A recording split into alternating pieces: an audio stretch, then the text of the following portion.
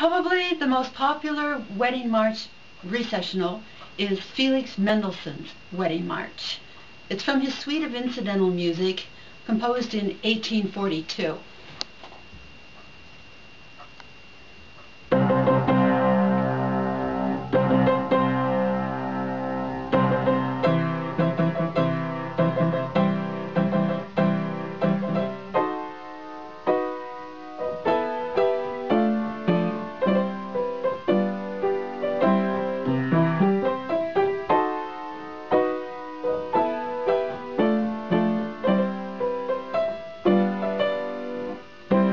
Thank you.